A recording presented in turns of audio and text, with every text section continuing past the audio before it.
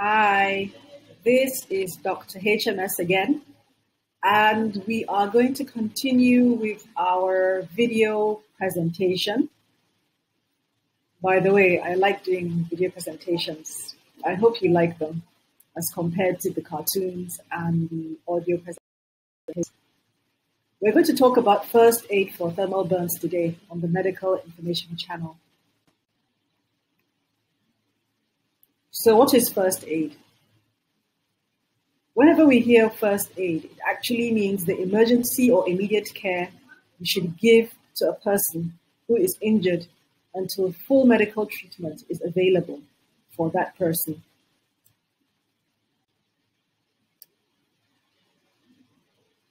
What happens at a burn incident scene?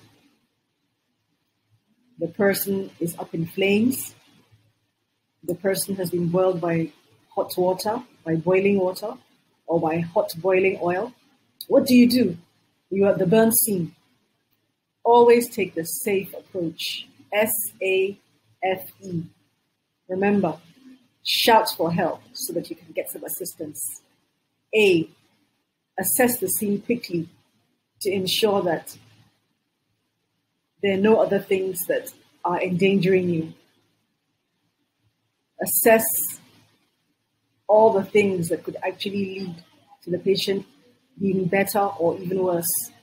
F, make sure there is no further danger. That is, make sure that the flames are not reaching the patient. Make sure the boiling water is not still pouring to a nearby place close to the patient. And then E, evaluate that casualty soon as possible. So we should try as much as possible to protect the burnt person from further harm if you can do so safely. For example, if there is a nearby fire extinguisher and you're able to use it properly, make sure the person you're helping is not in contact with the source of the burn by immediately extinguishing the fire.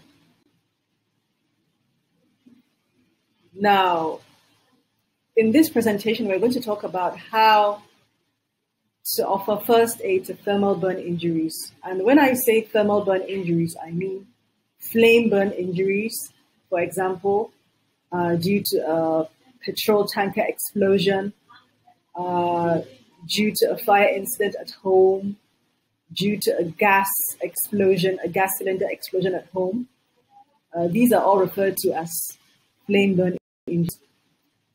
While scald burn injuries are injuries that occur as a result of hot boiling liquids, for example, hot teas, hot boiling water, hot oils, uh, well frying, and the like. So, what do we do? As much as possible, as quickly as possible, please the victim from the burning premises. If you or if you are the person that is, that is actually burnt or you're very close to the person who is being burnt, either you or the person should stop, drop, and roll on the floor. This will help extinguish the flames. In the presence of smoke, crawl on the floor to avoid inhaling the noxious substances. And then, as you're crawling or as you're trying to get out of that place, if it's in if it's in an enclosed area, breathe through a wet handkerchief if possible. Pour water on the victim, tepid water, that is water that's not too hot, not too cold, sort of like water from a tap, and then wrap the victim in a blanket.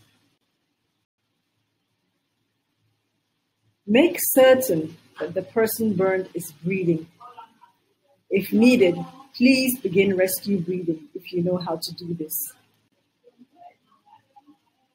If the person has any jewelry, for example, bangles, earrings, necklaces, bracelets around the neck, the wrists, the forearms, please remove them immediately. Belts as well, and any other restrictive items, especially from around those burned areas because these places will burn rapid, will swell rapidly, and one might not be able to take them off, thereby worsening the patient's condition. Now, the person may actually have other associated injuries, for example, fractures. If that is so, they should be splintered accordingly. And the person should not eat or drink anything. You should reassure both the victim and the family, console them. Now try and get some tepid clean water and irrigate the wound with water on time, please. Don't immerse large severe burns in water because that could lead to a serious loss of body temperature. The person may become hypothermic. So cool the burn, hold the burned area cool, running water, or apply a cool wet compress until the pain eases. So elevate the burned area. For example, if it's the limb and um, you have some sort of uh, bandage nearby, some cotton bandage, you can actually improvise by making a sling to elevate that limb. Raise the limb above the level of the heart if possible. Then watch out for signs of shock. Signs and symptoms of shock include fainting episodes, the person may appear pale looking, or he or she may be breathing in a notably shallow fashion. If there are blisters, that is fluid filled blisters, they are actually protecting in the short term against infection. So don't break the blisters, please. However, if a blister breaks, clean the area with water, plus or minus mild soap, and apply an antibiotic ointment if it's nearby. This applies to minor burn injuries, minor to moderate burn injuries.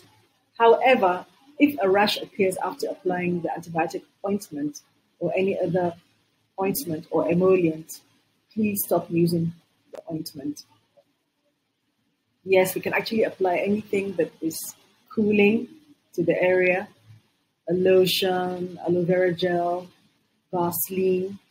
This helps to prevent drying and provide some relief. Cover the area of the burn. Look for a cool, moist bandage or a clean cloth nearby and wrap up. Make sure that don't use any fluffy cotton because this may lead to leaving some debris in the burn. So wrap it loosely to avoid putting pressure on the burnt skin. That is the sterile gauze bandage. So bandaging actually keeps air off the area. It reduces pain and protects the blistered skin. Of course, remove all non-sticky clothing on the patient cover the patient with a clean sheet or a blanket, and immediately transfer to a hospital facility. So, hey, don't sweat. Whatever you have at home, use it. For example, if you have cling film that's used for wrapping pastries, cakes at home, you can actually use that um, as a form of a dressing, a short-term dressing over the burn area. Just improvise as much as possible and then send the person immediately to a hospital facility. So did you like the presentation? Would you like some more? Uh, let me know what you think in the comment section and what you'd like me to discuss even further. Subscribe, like, share, and of course, click on bell notifications for more medical information at your fingertips. Own your own health. Bye.